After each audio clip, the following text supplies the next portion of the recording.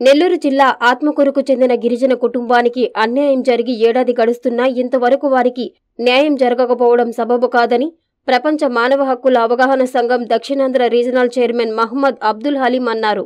మంగళవారం ఆయన ఆత్మకూరు తహసీల్దార్ లక్ష్మీ నరసింహంను కలిసి సమస్యను విన్నవించారు. అనంతరం అబ్దుల్ హలీం మీడియాతో మాట్లాడుతూ ఇటుకరాళ్ళ బట్టీల వద్ద కూలీ పనులు చేసుకుంటున్న ఓ గిరిజన కుటుంబానికి చెందిన పన్నెండేళ్ళ చిన్నారిని అమానుషంగా ఉరివేసి హత్య చేశారని ఆవేదన వ్యక్తం చేశారు. అందుకు సంబంధించి ఆ కుటుంబానికి న్యాయం చేయాలని కోరారు. గతంలో ఆత్మకూరు మండలంలో సుమారు పదకొండు నెలల క్రితం చలంచల్ల ప్రమీల అనే అమ్మాయి హత్య గావింపబడింది. వాళ్ళు గిరిజన కులస్తులు కాబట్టి వాళ్ళకి ప్రభుత్వం నుంచి రావాల్సిన ఎస్గ్రేషియా మాత్రం ఇచ్చారు కానీ నివాస స్థలము పొలము ఇప్పటి వరకు ఇవ్వలేదు.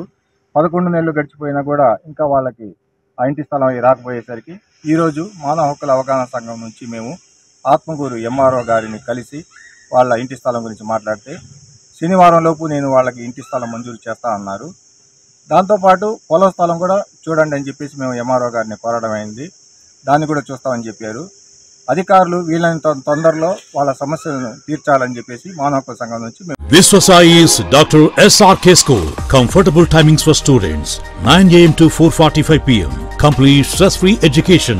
Personal counseling for students. Full-fledged lab, library, and spacious classrooms. Own playground area. Computer awareness for all. Address: Viswasai's Dr. SRK School. Magunta Layout, Nellore.